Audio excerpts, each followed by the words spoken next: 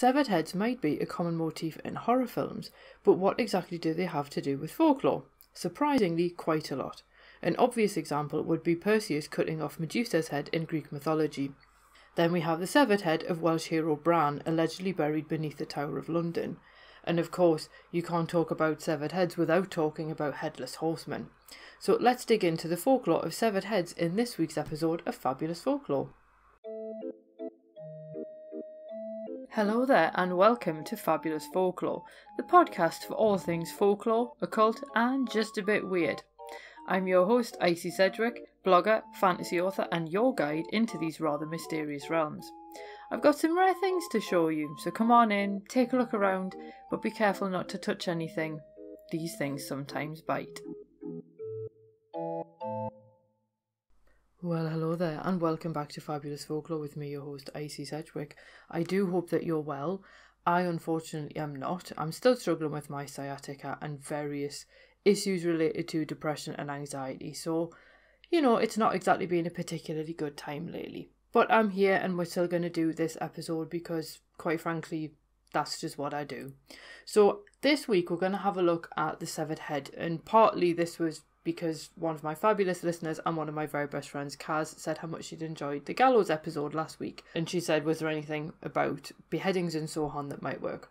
And then I thought, you know what, this would actually be a really good opportunity to look at things like the Headless Horseman, because obviously the Headless Horseman via Sleepy Hollow has become quite synonymous with Halloween in some ways. So I thought we'll just kind of add them all in there together. So obviously, content warning, we will be discussing severed heads. Hopefully, that won't be a problem. Now, like I said in the introduction, severed heads are quite common motifs in horror films in particular. You also get them in comedies as well sometimes, depends what the film's about. And there are some genuinely dreadful films that I had to watch because I wrote a chapter about heads and faces in gothic horror in a book about body parts in gothic horror. And I had to watch The Incredible Two Headed Transplant and The Thing with Two Heads, both of which are fairly dreadful films. But they're basically about this idea of trying to transplant heads, which obviously so far hasn't actually worked out in science. The heads are probably more famous from the idea of being mounted on pikes so that people to know that this person's been executed. Obviously, they are a good way to let your enemies know that you mean business. And also, it's partly because the fact that the head and therefore the face are a lot more recognisable than other random body parts. And of course, obviously, you could live without Uh, other body parts, but the severed head is the really final one. So we're going to start off with the French Revolution because you can't talk about decapitation and not mention it. And you might then wonder what that's got to do with folklore. But as with any event whose impact is far reaching and based on fear, several urban legends did spring up around the guillotine and her bloodlust. And one tale appears several times, which is that of a ghostly woman who holds her decapitated head in place with a choker. And she haunts the space near where the guillotine was. A young man sees her, is captivated by her beauty, takes her home, and then in the morning discovers that she's actually headless because he removes the choker and her head generally then falls away, which would be a little bit of a shock the morning after. Now, Washington Irving, yep, he of the Headless Horseman fame, actually wrote a story about it called The Adventures of a German Student. And he wrote it in 1824, so the French Revolution would have still been in living memory for some people. Now we're going to move on to Norse mythology. And Norse legends can occasionally become difficult to follow because texts might refer to a range of characters, often with the same name, and you do also have issues around when a legend was actually written down. But Mimir is the character that we're going to be having a look at here, and there are some doubts as to whether Mimir is a single character or indeed two. And one of the versions of Mimir guarded the Well of Wisdom at the foot of Yggdrasil, the World Tree. Now, the version we're concerned with is the one who got caught up in the war between the Aesir and the Vanir, two clans of gods. And the Aesir sent Mimir to the Vanir as a hostage. For various reasons that we don't have time to go into, the Vanir decapitated him and then returned his head to the Aesir. Now, mourning the loss of a great advisor, Odin ended up with Mimir's severed head, and he was actually able to preserve it using herbs, which also returned Mimir's power of speech. So Mimir could still help people, he could still make prophecies, and so on. And Odin kept Mimir's head by the well of wisdom so that he could ask Mimir for counsel whenever he needed him. Now, along with the sacrifice of his eye that Odin did have to make by hanging on Yggdrasil, Mimir did repay Odin for doing all of this for him with the runes. Now, there is some debate about whether Mimir ever actually regains his body or not, because some of the later stories do seem to imply that he does, but for our purposes here, his role as a bodiless advisor is what's important. And it does sort of speak to that power of mythology that a character can be beheaded, but then can still continue to play a role as a character. And indeed, our next mythological character does the same thing, and this is the head of Orpheus. Now, Orpheus is probably most famous within Greek mythology for his descent into the underworld, where, long story short, he's having his wedding day with Eurydice, she's bitten by a snake and dies and is then taken to the underworld, and Orpheus decides he's going to go to the underworld and ask for her back. He goes down there, makes his case, in some versions of the story, Persephone, Queen of the Underworld, is the one who sort of takes pity on him and is like, yeah, you've argued that quite well. And she persuades Hades to let Eurydice go, but there's one catch. Orpheus has to walk out of the underworld and not look back and just trust that Eurydice is behind him. And if he looks back at any point, she'll be lost forever and she'll have to stay in the underworld. So Orpheus then leaves the underworld and he's almost at the end and, true to form, turns around just to double check that she's there and then sees her having to return back into the underworld again. Now, the stories differ about what he did when he actually left the underworld, but for whatever reason, he was dismembered, and someone nailed his severed head to his lyre. After it fell into the ocean, it washed up on the island of Lesbos, and Orpheus continued to sing, and the lesbians actually created a shrine for it in a cave. Now, as the son of a muse himself, Orpheus needed no muse, and he eventually became more popular than the oracles of Lesbos. But in his most famous legend, and this is one of my favourite ones, Apollo gets really tired of Orpheus's incessant chatter and tells him to shut up. But again, it just shows how a character can be dismembered or decapitated and continue to play a, a role in various myths and so on. Now we're going to change gears slightly from mythology to saints because I've been long fascinated by religious relics and the power that becomes associated with them, and St. Catherine's severed head is just one of them. Now, St. Catherine of Siena does have quite a memorable story. She lived during the 14th century, and legends attribute her with stigmata and even levitation. Now, she actually died in Rome at the age of 33, and the people of Siena wanted her body back for burial, and the Roman officials refused. So a few townspeople from Siena travelled to Rome to steal her remains. Now they did realise how difficult it would be to smuggle a whole body out of the tomb, so they decided to decapitate her instead.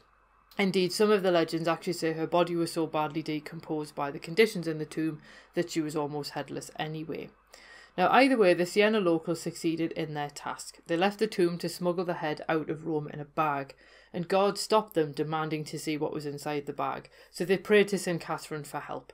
When the guard peered inside, they saw only a pile of rose petals. So they did actually manage to get her head back to Siena, and you can see the head safely ensconced behind glass in her home church there. And I do like that story. But obviously, I did mention in the introduction the headless horseman, so we can't really talk about severed heads without talking about him. If you talk about severed heads, he's the, the other end of the spectrum, where you've got the head at one end and the, he's the headless body at the other end of the spectrum. Now, obviously, the most famous headless horseman of all is probably the one immortalised by Washington Irving in The Legend of Sleepy Hollow. Now, his original story, spoiler alert, by Washington Irving does imply that human agency is actually behind the appearance of the aforementioned horseman, not anything supernatural, which obviously isn't the direction that Tim Burton took in the 1999 adaptation, and indeed, it's also not the direction that the Sleepy Hollow TV series took either. But a lot of these stories do look at the traditional folklore of the area, and in these, the horseman apparently died during the American Revolutionary War and decapitated during a battle in 1776. His ghost then roams the area every Halloween in search of his missing head. Now, some of the articles I read did seem to cite Dutch folk tales as the source of the headless horseman, which is possibly due in part to the existence of a Dutch story about a headless horseman roaming around Tarrytown, New York State one Halloween. But the stories of headless horsemen, or indeed headless figures, are a lot older, so we are going to have to go to Ireland for one of these. Now, the headless horseman is known as the Dullahan in Irish folklore, and he roams the back roads of rural Ireland collecting the souls of the dead. In most stories, he dresses in black and he rides a black horse, although in some stories, he does actually drive a coach pulled by six horses. Coffins, gravestones, and bones make up the coach, and the horses gallop so fast that their hooves set fire to the hedges lining the road. Now, whichever version it is, the Dullahan often carries a whip made of a human spine in one hand, and in the other he carries his own head, which glows, acting as a lantern. Now, he has been known to lash out the eyeballs of anyone who sees him, and deaths occur whenever he stops riding and calls out a name. If you heard him call yours, then you would be the next to die. However, he fears gold, which sends him fleeing into the dark, which is quite interesting because usually for figures like this, you would imagine that would be iron, but no, in his case, it's gold. And obviously, there is the episode about the folklore of gold in the folklore of metals a few weeks ago. Now, Bridget Haggerty relates a tale in which a Galway man heard the Dullahan come up behind him on a country road. Now, he knew he wasn't going to be able to outrun the Dullahan, but he did know how to outwit the Dullahan, and luckily he had a gold coin with him. He dropped it in the road behind him, and the Dullahan disappeared with a mighty roar. Now, some people believe that the Dullahan's origins lie in the 6th centuries, when Christian missionaries banned the worship of Crom Dubh, the Celtic god of fertility. Every year he demanded a human sacrifice, which was usually created using decapitation. Now, once the Christians banned his worship, it does appear that the locals may have turned him into a terrifying figure that still demanded corpses, and eventually Crom Dubh fell out of the stories and the horseman became the Dullahan. Now, obviously, there are some tales of headless figures elsewhere. So, in Scotland, a man named Ewan apparently became a headless horseman after being decapitated in a clan battle. He lost his chance to be chieftain as well as his head, and accounts state that both he and his horse are headless.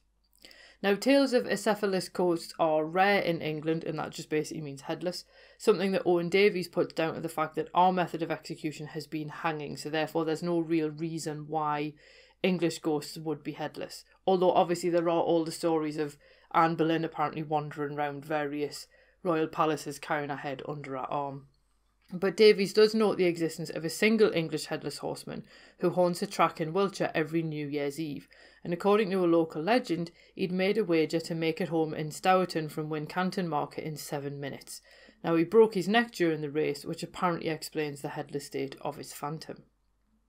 German folklore is slightly different, and locals blamed windstorms on the appearances of these spectral headless hunters, and they were accompanied by mysterious noises.